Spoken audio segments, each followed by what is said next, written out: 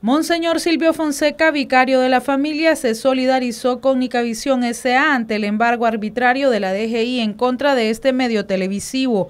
Bueno, antes de todo quiero saludar a la familia Valle, a don Mariano, a todos sus hijos, quienes la sociedad da testimonio de su honorabilidad, de su buena reputación y con gran esfuerzo que han hecho este canal que ha servido a la sociedad nicaragüense, donde se oyen voces y opiniones de diferentes puntos de vista, lo cual lo ha convertido en un medio de comunicación objetivo y muy importante para un país que necesita oír de todos para que tengan sanos juicios.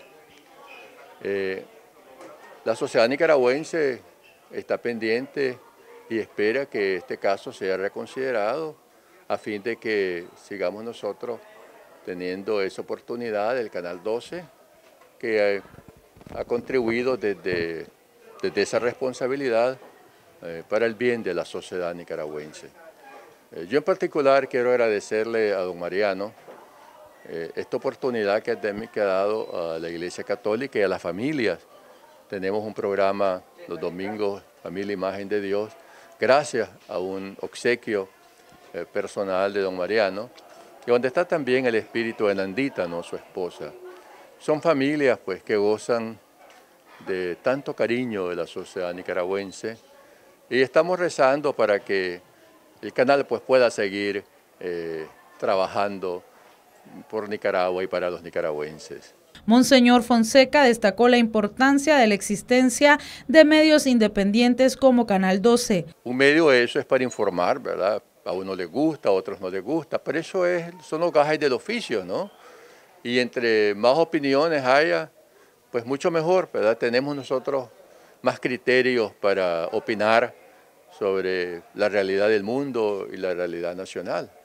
Eh, en este sentido, por eso es tan necesario eh, que igual que este medio, eh, también nosotros seamos objetivos, que también haya más medios en el país para que en Nicaragua se siga pues construyendo eh, ese país que todos deseamos. Pues esperamos que esto no se llegue, ¿verdad? Eso es eh, nuestras oraciones y nuestra exhortación, nuestro llamado a las autoridades del país, eh, que pues, está esto en las manos de ellos, obviamente, ya don Mario, perdón, don Mariano ya ha dado su versión, nosotros le damos credibilidad a lo que él ha dicho como dueño de, del, del este canal televisivo, ¿no?